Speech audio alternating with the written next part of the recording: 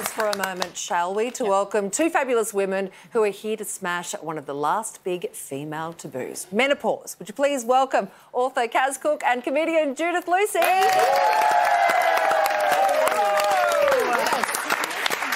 Sarah, you said the word menopause, and I could feel people get excited. I think I clenched when I said that. Um, this is fab. How did you two meet? Oh, well, it's it's quite a story, isn't well, it? You take the first part. All right, because it's the boring part, really. So let me take you back. I don't know what that is. I'm, I've turned into a Muppet. Anyway, I was in a show called The Late Show on the ABC, yes, yes. 1993, uh, with the D Generation. And I used to do a lot of material about a magazine, remember magazines, yeah. um, called Single Living. And I should also mention that I was already a huge fan fan of Kaz's, but I didn't know what she looked like. That will become relevant. so this particular evening, I'm holding up the Single Living magazine and I am really paying out on it. And, you know, I virtually shoved the cover at the camera. Over to you, Kaz Cooke. Oh. And I was at home recovering from gynecological surgery, oh. during which, as a little gift, a parting gift to go home with, they'd given me hemorrhoids oh. first and last time. So I'm lying on my couch, clutching an ice bag between my buttocks. I think I'll just put the telly on, and there's Judith Lucy, who I'd never met, holding up my face, going, "Get a load of these losers." So I got the number of the. I don't know how I did it. I was furious. Got the number of the ABC studios. Was it ABC? I think so. Yes. Rang up up and uh, asked to speak to Judith and uh, gave her a piece of my mind. Did you? Really? You tracked me down at Channel 2 and hemorrhoids brought us together. and here we are. Two, two pains in the ass that night. Yeah. That's one. Well, menopause is keeping you together. Mm. When did that kind of become a topic in your friendship?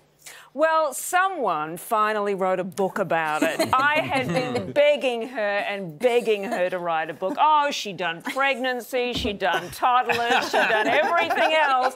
Please write a book about menopause. And finally, you did.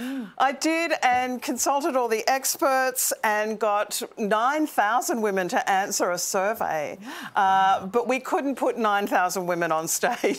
so we decided that we would get together um, because we'd been talking between ourselves and then you know during the writing of the book so much research and so many women going through this terrible time. Yeah what has been your reaction to people when you tell them that you're working you know within the menopause sphere? Oh every single woman grabs my arms and screams into my face hurry up! Finish it can I say, because we did a couple of shows um, before Christmas in Melbourne, and may I say, they went off. because menopausal women, damn it, we want to talk about it. Yeah. And someone actually came up to me afterwards and said, I mean, people were laughing, they were tearing up, yeah. they were hugging. They said it was almost a, an evangelical feel. And essentially, that's what we're doing. We're creating a Hillsong experience right. for people with dry vaginas. Right. So come find God and your vagina. Um,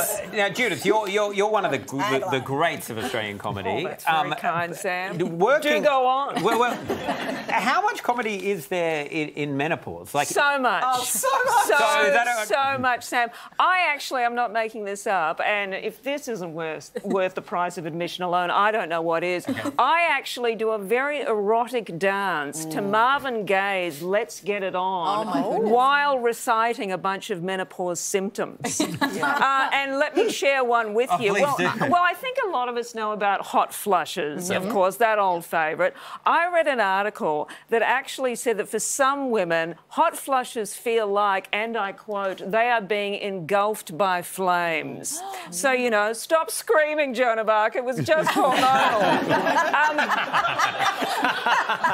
urge incontinence is another symptom yeah, yeah, where, again, and I quote, the bladder develops a mind of its own. So isn't that great? Who needs a toilet? There's a shoe. so there's a lot of material to be had. And what's nice is that for years and years and years, women have been the butt of the joke yes. about mm. menopause, and it's sort of been set up as men versus women. You know, we want to include everybody, everyone's experience. We want men to learn about this too, and we want the jokes to be bringing people together, and it's all laughing together rather than. We want everyone's money. Yeah, so important. Thank so you, Judith. Thank you. Kaz, what do you think are the biggest misconceptions about menopause transition?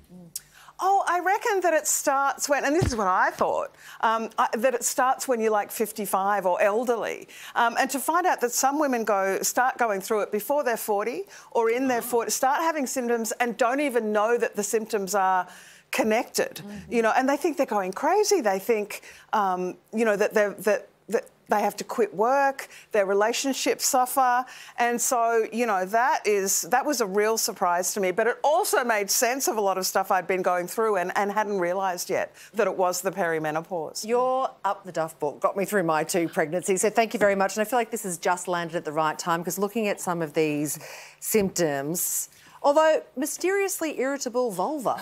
yes, mysteriously irritable vulva. Uh, Why it's- is it irritable? Well, the... why is anybody irritable?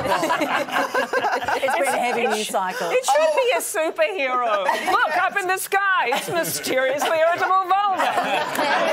this is another one of the things because we're, you know, like all women who've been through this think it's just happening to them. And it turns out it's one of the more than 30 symptoms of the menopause. And look, I won't go into but uh, into exactly why, but also there are so many fake wellness cures. There's so many celebrities trying to flog stuff to us. You know, medication's Go good for some show. people, not for others. You know, it's anyway, we're gonna have fun with it. Grab the tickets to the show, the show. Menopausal See Night the Out, show. on sale now, as is the book. Thank you, ladies. Thank you so much.